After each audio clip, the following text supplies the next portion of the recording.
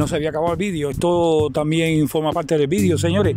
Esto es más paloma. Esta es la zona trasera de Playa del Inglés y aquí te estoy mostrando cómo sigue viviendo la gente, mal viviendo la gente, gente marginada, gente que ha tenido que venir, que venir a vivir aquí en esta zona de aquí.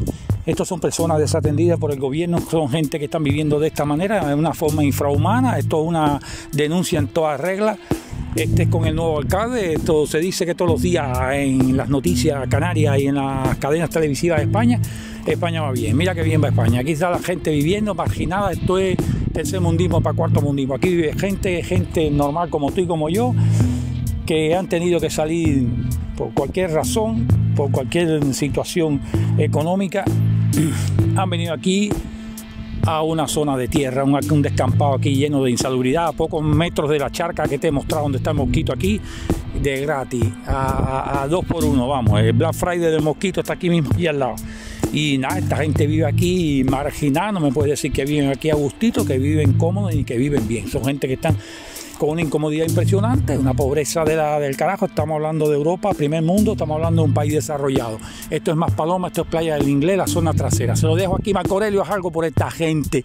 Tienes que salir y sanear los barrios otra vez y hacer lo que no hizo Conchita ni lo que hiciste tú en años anteriores. Aprovecha ahora mismo y da la cara. Mira, aquí te estoy mostrando, esto es miseria, esto es hambre, esto es necesidad, esto es mundismo, esto es viviendo como perro, como bestia, esto es pobreza extrema en Europa, esto es pobreza extrema en las Islas Canarias que presume de tener turismo y turismo, presume de tener eh, turismo ahora mismo a punte pala de crucero, los cruceristas y aquí pues nada, mira, aquí te estoy mostrando imágenes que me traen un montón de colaboradores, gente viviendo, mira, en pobreza extrema. Parece esto un país tercermundista, un país en guerra, con gente marginada y tirada en medio de la nada, lleno de mosquitos y sin luz eléctrica, sin baño, sin tener ninguna protección como ciudadano. Aquí esto tiene que estar infectado de ratas, además de mosquitos, como te decía, cucarachas y un montón de bichos que igual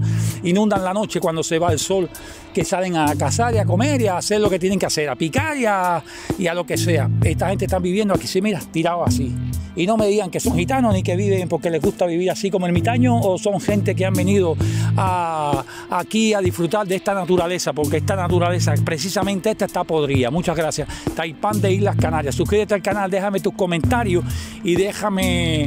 Eh, el por qué. Ah, o sea, dime si está bien, si está mal y fundamentame la respuesta. Eh, a ver qué tú crees de esto. Estamos hablando de Marco Aurelio. Este es el nuevo alcalde que hace poquito tú eh, tomó el cargo, pero que además ha estado otra vez en este mismo municipio con esta misma desgracia, con este mismo proyecto que nunca ha sido, que nunca se ha realizado, que es el proyecto del Cian Park, que ha quedado en esto aquí. Y nada, seguimos demostrándose a ustedes. Muchas gracias.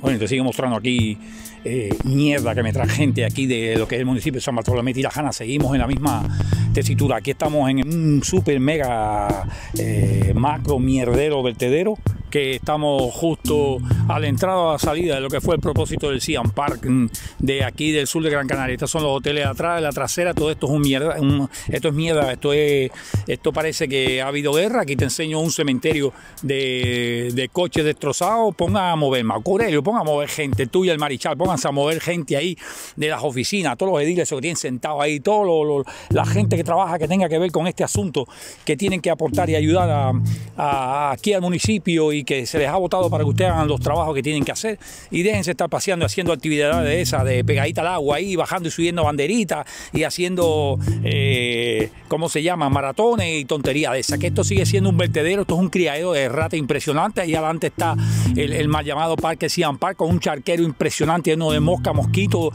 ratas y ratones. Todo eso son zona hotelera. Aquí nos ha pasado una bulldoza de esa que, que, limpie todo el terreno este y todo el basurero este. Y aquí, bueno, están los coches abandonados y como puedes ver, uno tras de otro. Y mientras más se demore en hacer algún trabajo, la gente que esté del ayuntamiento con estas cosas, o, la gente que tú diriges, por favor, que se pongan a hacer. Mira, aquí te estoy haciendo un trabajo que no me pertenece, pero como ciudadano, eh, eh, creo que estoy en el deber de demostrarte todo el mierdero de propósito y toda la basura que hay por aquí, que lo único que trae consigo es afear la zona. Esto es una zona turística. Aquí detrás de mí se encuentra el líder, detrás de este basurero impresionante se encuentra el líder, un montón de casas, de viviendas, de edificios, se encuentra el Cachandipro, se encuentran hoteles y la de Dios. Y esto sigue siendo por excelencia, que lo ha dejado, lo sé, lo sé que lo ha dejado tú anteriormente en tus mandatos y lo ha dejado también la, la, la, Concepción de Alba, la exalcaldesa han dejado toda esta mierda aquí que parece esto aquí, las ruinas de, de, Pompeya, con, con, menos efectividad a la vista del turismo, porque esto lo que cría es ratas y ratones, esto es insalubridad